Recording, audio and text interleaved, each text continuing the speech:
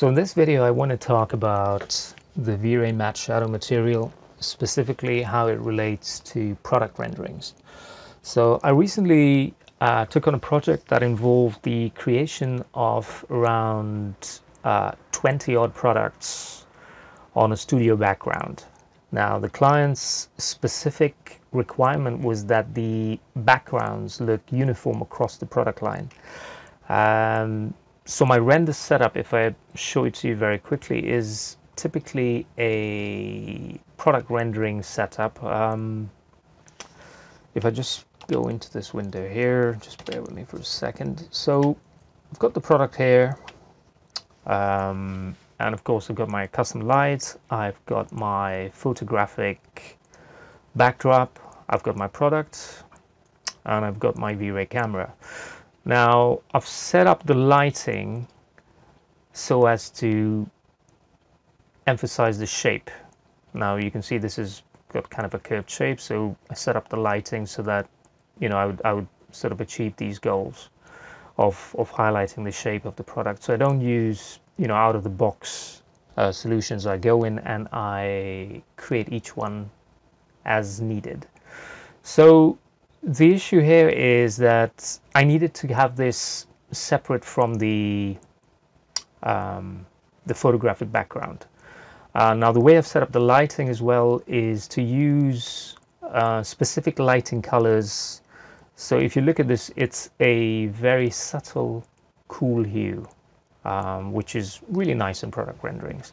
So I wanted to create the same effects and um, sort of apply that you know uniformly across the product line. So the solution that everybody suggests, I mean, if I if I very quickly just pull this up, um, if I look, if I go to the render settings, uh, real if I I have a render here, just bear with me for a second. Okay, so I've rendered this out with the setup that I've just shown you and it looks really nice. You know, you've got the, the subtle blue hue and, you know, everything's good. But if I look at the alpha, the alpha is white, right? So what I need is I need to have an alpha so I can basically cut this out from the background and then put it on a white background and maybe and then once I've got on the white background I can actually change this color so the solution based on what you see online is that you you either use a V-Ray wrapper material or you go into the individual pieces of geometry right here and you hit the V-Ray properties on this and then you click the matte shadow option here right so if, if, if I set this to minus one which is what they all recommend. Turn on shadows and I say effect alpha. That should help me pick up my shadow, right? So let's go into the camera view. Um, we'll go to the render and what we'll do with this one is we'll save it. Okay. So this is saved now. And now if I go in and I render with those recommendations, uh, let's just give this a few minutes. I'm recording while it's going so just bear with me. You know I've rendered it at a slightly smaller resolution so it um, sort of picks up the um, uh, geometry and you know you're not sitting here listening to me yapping for five or ten minutes. So just bear with me as it renders. Um, and it's rendering um, and here we go. And we've got the geometry and we've got the shadow which is great right? And it's coming and it's coming and it's coming and it's coming. And it's almost done. Uh, I've got one CPU running on this an i7 uh, so hopefully we should be waiting too long. Uh, it says less than a minute um, so just bear with me.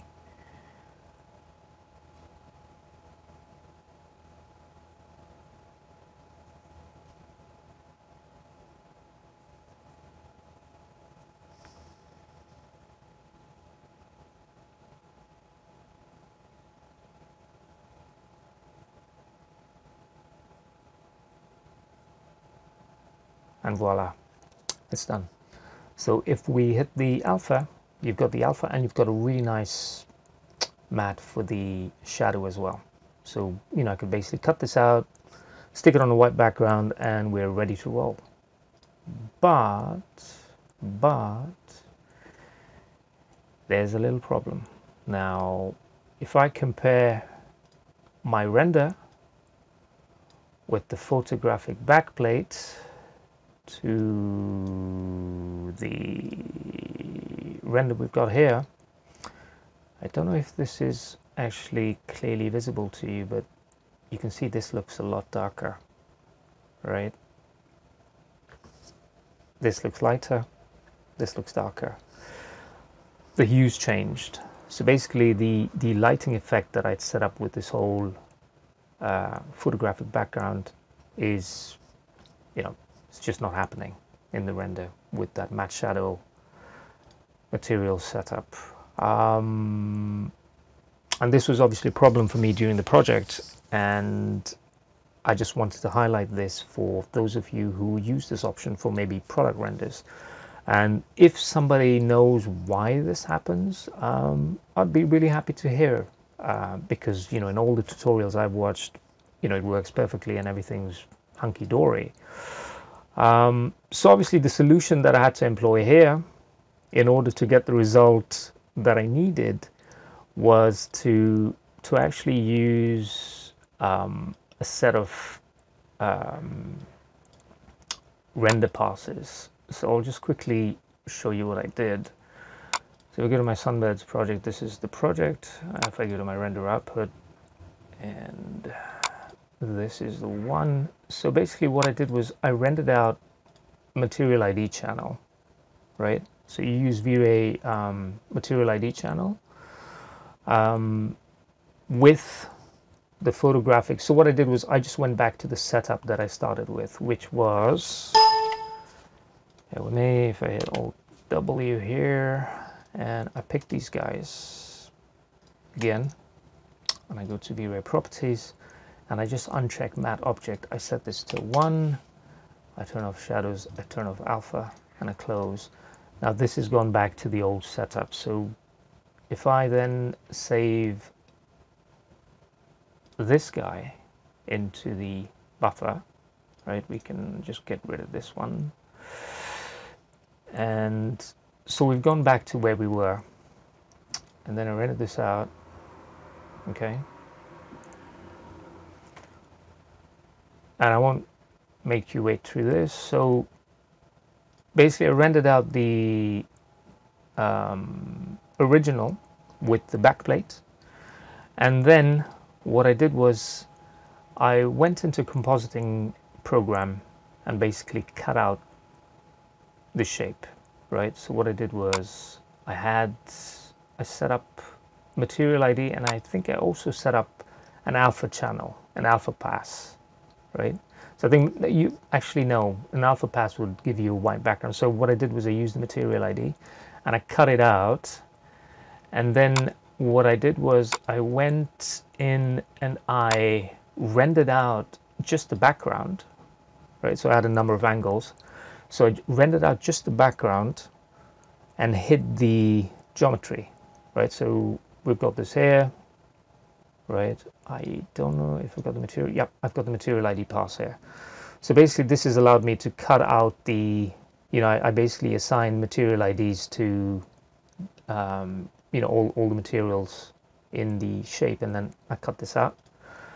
Um, alpha just gives you a blank uh, color here, which is where the problem begins. So cut that out and then what you can do is you can you can hide the actual geometry, if you go back to V-Ray properties and you um, turn off the visibility, where's the visibility?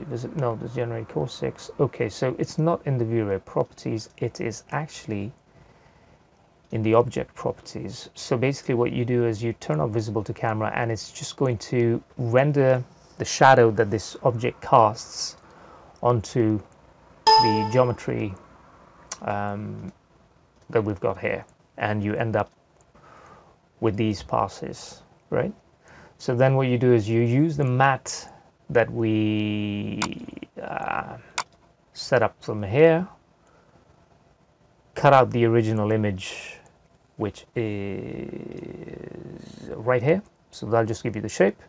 And then you overlay that onto this background, right?